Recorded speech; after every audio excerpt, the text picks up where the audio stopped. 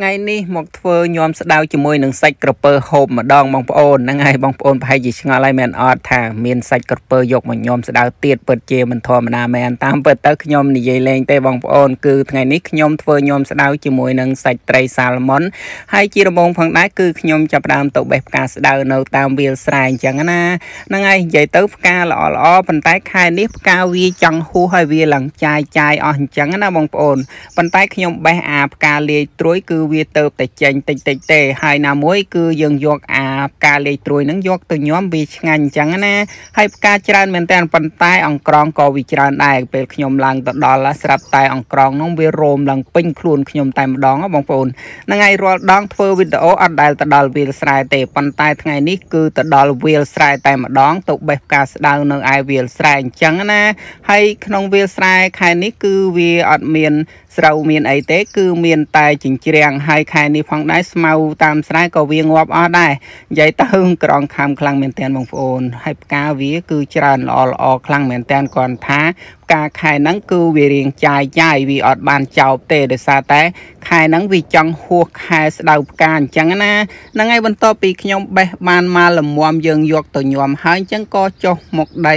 ហើយក៏រើសវាចឹងទៅមានត្រួយមានផ្កាអីខ្លះចឹងទៅយកទៅញោមទៅវាឆ្ងាញ់ចឹងណាបងប្អូនហើយដើមស្ដៅនេះផងដែរគឺមានអត្ថប្រយោជន៍ជាច្រើនគឺយើងអាចយកមកធ្វើជាថ្នាំដាំទឹកហូបឬមួយក៏យើងបុកវាពូតជាមួយនឹងទឹកដូងហូបអញ្ចឹងណាជួយឲ្យត្រជាក់ខ្លួនណាបងប្អូនហ្នឹងហើយនិយាយរួមទៅគឺជាថ្នាំត្រជាក់ហើយយើងយកទៅហូបអញ្ចេះក៏ធ្វើឲ្យមានសុខភាពល្អដែរដោយសារតែដើមស្ដៅនេះគឺជាស្ដៅធម្មជាតិពីដោះតាមវាលស្រែអញ្ចឹងណាបងប្អូនយើងអត់បានដាំយើងអត់បានដាក់ជីអីវាទេជារួមទៅគឺធម្មជាតិពិតពិតតែម្ដងហ្នឹងហើយបន្ទាប់ពីខ្ញុំមកពីបេះផ្កាស្ដៅរួចហើយខ្ញុំក៏ចាប់ផ្ដើមមកបេះស្ពៃនៅឯខាងក្រោយផ្ទះហ្នឹងនិយាយទៅស្ពៃនេះគឺល្អល្អខ្លាំងមែនតើតែកាត់លក់ចិត្តអស់ហើយដាំច្រើនដែរបងប្អូនប៉ុន្តែកាត់លក់ឡើងយូរដែរហើយអញ្ចឹងហើយវានៅសល់តិចតួចទេនៅសល់ប្រហែលជា2 3រាំងទេប៉ុន្តែវាក្តោបក្តោបល្អខ្លាំងមែនតើបើគុំវិញធំធំប្រហែលជា2 3គុំអីហ្នឹងគឺបាន1គីឡូហើយហ្នឹងហើយបន្ទាប់មកគឺខ្ញុំដកតែមួយគុំទេដោយសារតែស្ពៃយើងគុំធំធំល្អខ្ញុំក៏ត្រឡប់មកវិញតពីខ្ញុំផ្សំបន្លែ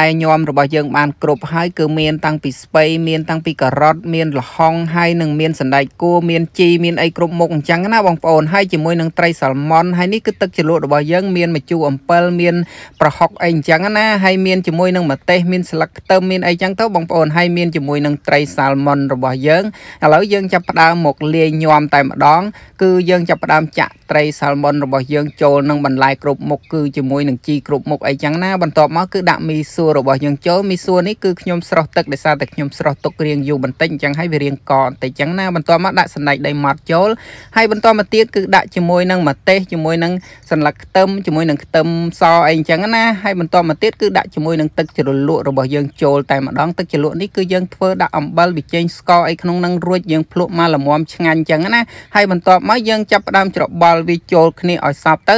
ដើម្បីឲ្យជាតិប្រៃវាចូលសព្វអញ្ចឹងណាបន្ទាប់ពីយើងសបល់វាសបល់ទៅមកទៅមកឲ្យវាសព្វហើយយើងភ្លក់មើលចាំមើលតើវារសជាតិឆ្ងាញ់ហើយឬនៅអញ្ចឹងទៅបងប្អូនចង់និយាយថាខ្ញុំធ្លាប់តែញោមខ្ចៅញោមខ្ចង់ឬមួយក៏ញោមស្បែកជ្រូកអីអញ្ចឹងណាប៉ុន្តែអត់ធ្លាប់ញោមជាមួយនឹងត្រីសាល់ម៉ុនទេប៉ុន្តែថ្ងៃនេះខ្ញុំចង់សាកល្បងមើលចាំមើលតើវាឆ្ងាញ់ប៉ុណ្ណាអញ្ចឹងណាពួកអីត្រីសាល់ម៉ុនយើងហូបឆៅបានអញ្ចឹងហើយយើងយកមកញោមខ្ញុំជឿថាប្រកាសជាឆ្ងាញ់ហើយមែនអត់បងប្អូនណាខ្លះដែលធ្លាប់ញោមជាមួយនឹងត្រីសាល់ម៉ុនអញ្ចឹងណាបើបងប្អូនណាធ្លាប់ញោមជួយខមមិនប្រាប់ផង តើឆ្ងាញ់ខ្លាំងដែរឬក៏អត់អញ្ចឹងណាហ្នឹងហើយឥឡូវបន្ទាប់ពីខ្ញុំច្របល់វាឡើងចូលសពហើយឃើញថាចាក់ដាក់ចានមកបងប្អូននិយាយទៅច្រើនដែរប៉ុន្តែដោយសារតែខ្ញុំហូបម្នាក់ឯងអត់អស់អញ្ចឹងហើយខ្ញុំដាក់តែបន្តិចទេមើលទៅឡើងក្រហមងើតែម្ដងជាមួយនឹងត្រីសាល់ម៉ុនរបស់យើងបងប្អូនឥឡូវយើងដាក់ចូលមាត់មួយម៉ាត់មកមើលចាំមើលទៅឆ្ងាញ់ដែរឬក៏អត់អញ្ចឹងណា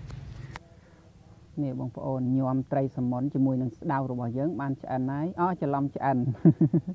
រួចរាល់ច្រឡំឆ្អិនដល់មិនទេបងប្អូនឲ្យតែខ្ញុំធ្វើមហូបដឹងតែឆ្អិនរហូតហ្មងសំបីតែញោមក៏ឆ្អិនយ៉ាប់ហ្មងមកឥឡូវយើងមកភ្លក់មើលអូយម្នាក់ក្រហមងើតែម្ដងត្រីសមុនរបស់យើងមកអឺ ត្រីឆ្ងាញ់ដូចគេល្បីមែនបងប្អូនខ្ញុំមិនដែលភ្លក់ទេនេះជាលើកដំបូងណាមែនអត់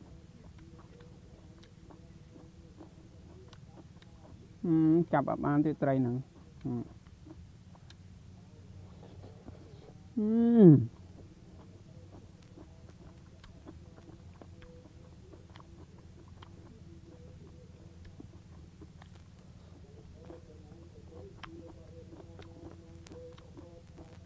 ឆ្ងាញ់របស់គេមែនមែនតែល្អមើលណាតែឆ្ងាញ់ដែរហឹម